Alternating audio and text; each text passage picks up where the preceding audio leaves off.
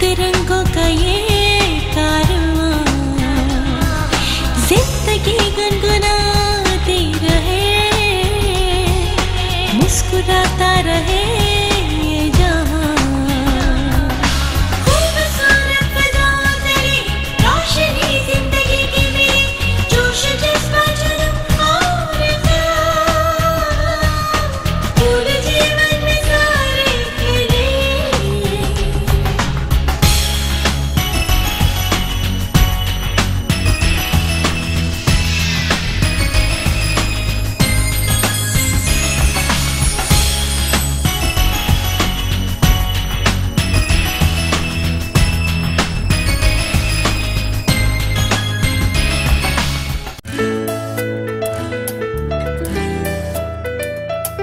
Bye.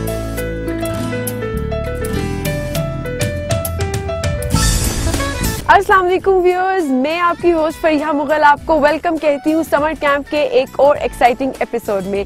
Last episode में जैसे कि आप जानते हैं, हम अपने कैंप्स मकरा बेस से जो है वो पूरे पैकअप कर कर रवाना हो चुके थे। शोगरा की तरफ़ अभी हम पहुँचे हैं इस पाया के स्टेशन पे, जहाँ पर हम जीप्स में सवार होकर वापस जाएँगे। शोगरा जहाँ पर हमारी इस्लामाबाद से लाई हुई गाड़ी हमारा वेट कर रही है और फिर हम मूव करेंगे अपनी नेक्स्ट डेस्टिनेशन की जानिब। तमाम मेरी कंटेस्टेंट्स जो है वो यहाँ आ चुकी हैं और अब हम जाएँगे शोगरा की जाने please be with us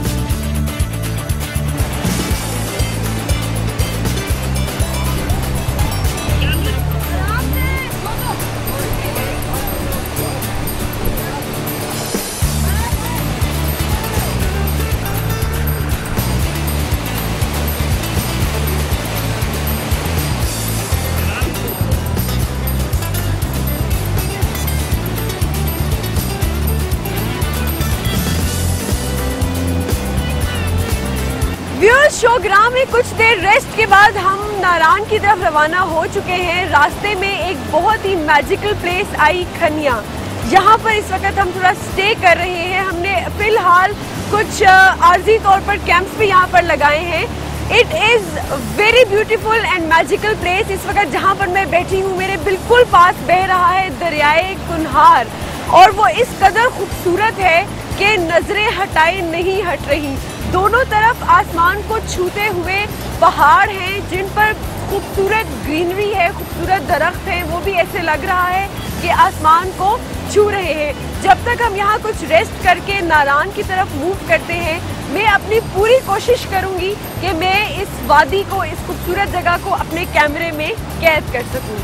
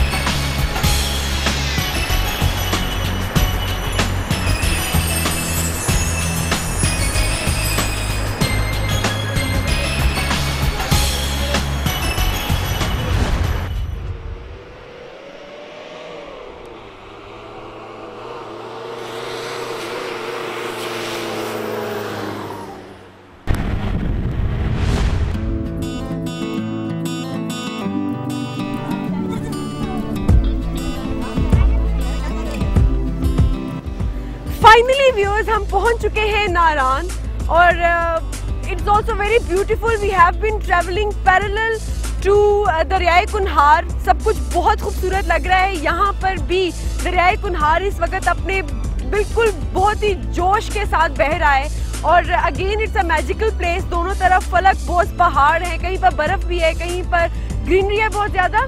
और इस वक्त जो मैं आपको इतनी कॉम्प्लिकेशन में नज़र आ रही हूँ there is this very traditional log log bridge जिसको मैं क्रॉस करने की कोशिश कर रही हूँ। सो आई होप जब तक मेरी टीम अपनी कैंपिंग के लिए कोई अच्छी सी जगह देखती है I would be able to cross this log bridge alive